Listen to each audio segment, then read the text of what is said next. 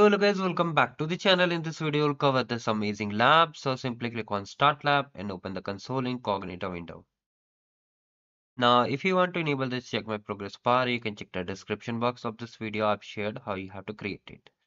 Now simply right click, open the console incognito window. Now here it will be getting signed in automatically, so no need to worry about it.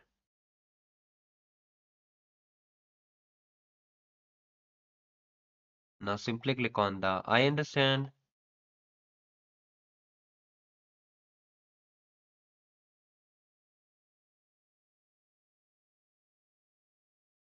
Click on I agree and agree and continue. Now simply activate the Cloud Shell.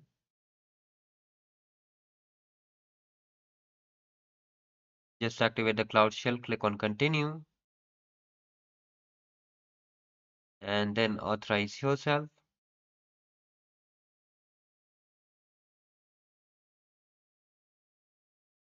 Now here, the first thing we need to do, in the description box of this video, I've shared this GitHub repository.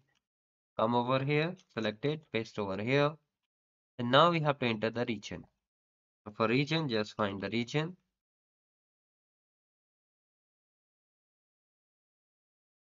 And hit enter. Now wait for these commands to execute and once it's done, we'll be done with the lab. And many of you are facing issue particularly on task number one. Do not worry, we'll cover that also if you face.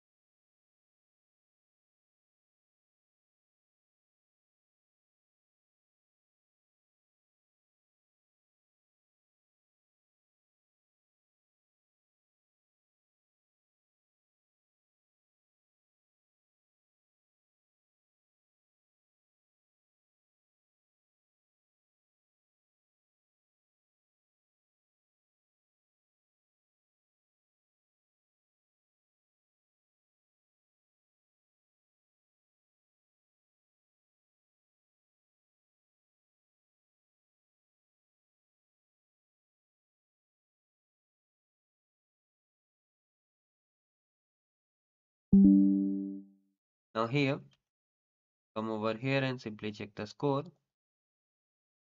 So here you can see clearly we have got the score for task number 1 and 2. Now, if you are facing issue on task